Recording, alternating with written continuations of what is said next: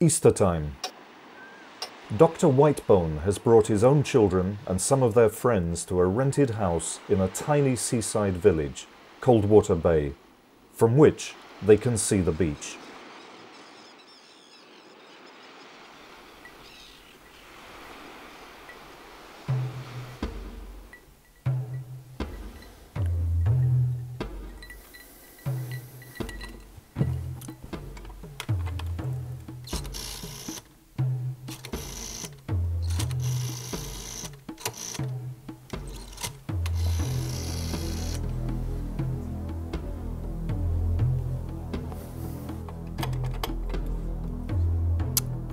What on earth is wrong with this phone?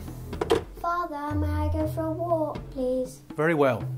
But please, stay together, just for safety's sake. Hmm, okay.